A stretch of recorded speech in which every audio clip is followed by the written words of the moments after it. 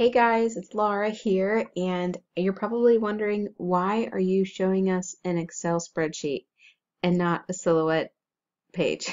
well, I wanted to show you guys, I know it's like almost, you know, halfway through January, but I thought I would show you guys how I keep track of my sales and orders and things like that. Um, I know that not all of you who follow me necessarily sell, but I thought this might be useful to some, and I'm just going to preface this by saying I am not an Excel whiz. So if any of you are and you want to comment below and give me some tips or shoot me an email, littlelightsbylaura at gmail.com, I will be happy to take any advice you have. Um, so I'm just going to walk you guys through what I do. I've just been using this really simple setup for, oh my gosh, forever. Well, obviously since 2015, but um, I just like to keep it simple. So I'm going to merge these cells together and I'm just going to um, label this 2019 sales. And then I like to just go down here and kind of make my labels. So customer, contact info, and I'll explain what all of these mean. Item, vinyl cost, item cost, item shipping cost. Did I ship?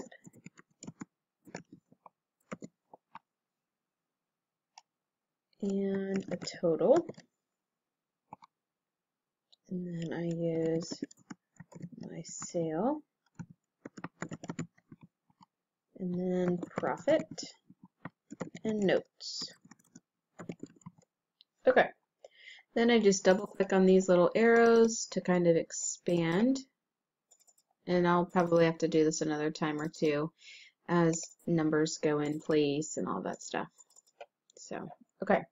So the first thing I want to do is I want to make um, a lot of these rows have um, a monetary value. So I'm just going to click on the ones that I want that are going to be a number, if you will. Which is almost all of these. There we go. And then let me just show you guys um, an example because I'm also going to do some um, formulas that are really easy. So let's call this person Sally. And let's say, okay, so contact info. So this individual contacted me through my personal Facebook. And so I'll write personal Facebook. And the reason for that is because that'll help me know like if I want to go back and pull up an email or um, an instant message or whatever. So that helps me. And then she ordered a birthday t-shirt. And then my vinyl cost, I'm going to write $0. My item cost was $4.26. Um, did the item cost for shipping? Yes, it was $5.95. Did I ship it to her? Yes, I did. It was $5. Total, my sales price, profit, and notes. Okay, so let me expand these again so you guys can see, and then I'll show you the formulas that I use. They are nothing fancy. They're really simple. So the first one is the total column. So here I'm going to go to auto sum and I'm going to um, click on the vinyl cost and I'm going to do shift plus and then I'm do item cost, shift plus, item shipping, shift plus, did I ship it? Click it, shift plus, and you see these are all adding. I'm actually going to backspace because I don't need a plus sign at the end. And then I'm just going to hit enter. And then what it did is it just added up these columns for me, or um, yeah. So then that just puts the number right here.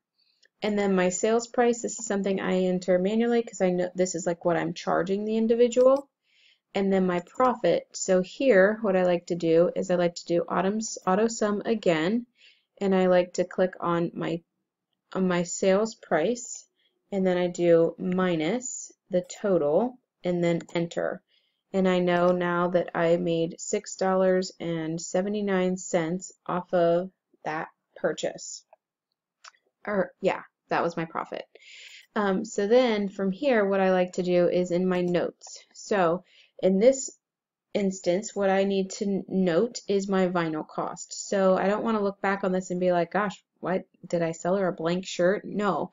In this particular case, I had the vinyl on hand, so I knew that I didn't need to um, like document that I went onto one of my vendors' websites and purchased vinyl for this product. So here I'm just going to write had vinyl on hand and I know like my expenses from there. So pretty pretty straightforward. Um, and that just allows me to again kind of keep notes and um, allow me to know like um, where things are going and you know what I used for it. So I'm just going to select all of these headings real quick and I'm just going to center them and I'm going to put them in bold um, just so I can kind of um, differentiate the lines. So let me show you another one. We'll call this guy Henry and um, this is a text because this is a friend of mine. These are not these people's real names just so you know.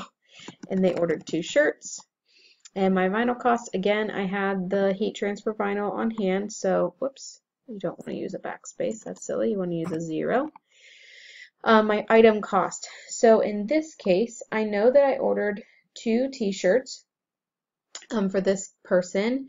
And so um, what I like to do is when I purch when I make the purchase online, I like to just um, add it up right away so I know exactly, okay, one of the t-shirts was 725 and another one was 518.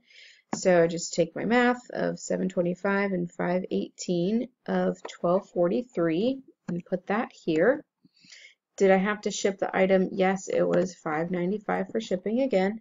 Am I shipping it to them? No, I'm not. They're going to pick it up from my front porch.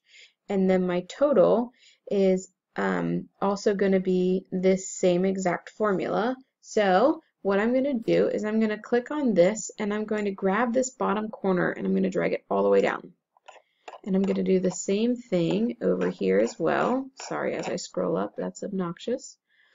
Um, I'm also going to do that same thing in the profit category as well. I'm going to drag that formula down too. There we go. All right. Now, what that's going to do for me is it's going to carry out that formula that I made here where I added up all of these numbers across the board. Now it's going to do that same thing all the way down my entire page. And same thing for the profit. So I know that I charged him $44 for his two shirts, so my profit was $25. So again, if I just double click, it shows me that my number here was subtract or my number here was subtracted by there, and there we go. So same thing here, I had the vinyl on hand, I knew what I needed to charge accordingly to do so. Um, and it doesn't necessarily mean that my price changes if I have to order vinyl. Again, this is just to help me keep record of what I'm buying and um, what's going in and what's going out. So um, hopefully this is helpful to some of you. And like I said, I'm no Excel expert. Say that five times fast. Um, but this has just been a really simple way for me to kind of keep track of everything. Um, one more thing I will say really quickly is this auto sum feature can be used at the end of each month or the end of your full year, whatever you want. So once you, like let's say I'm done with January sales and I would want to just know exactly how much I sold in January, I can either select both of these numbers and my sum pops up down here, or I can just click on this block here and click auto sum and then hit enter and it'll give me my total for the the month so then maybe I would go and I would paint that and I would write January total. And then, oh, I should spell it right. there we go. And then maybe I would highlight that as well. So then I know, okay, the next numbers are February. So hopefully that helps you guys. Um, don't forget to comment below if you know more about Excel than I do and you have tips to make my life easier. I am happy to learn. And um, like I said, hopefully this helps you guys in some way um, even if you're not selling, it's good to start keeping track. If you're just making stuff for friends and family, it still is really helpful because maybe, like myself, you know, here I am almost eight years later and I'm selling stuff and I have a YouTube channel. And if you would have told me I was going to do that eight years ago, I thought you were crazy. So just start getting in the habit now of keeping track of stuff that you're making for friends and family. And um, yeah, and you never know what's going to happen down the road. So thanks, guys. Don't forget to like and subscribe to my channel, and I'll talk to you soon.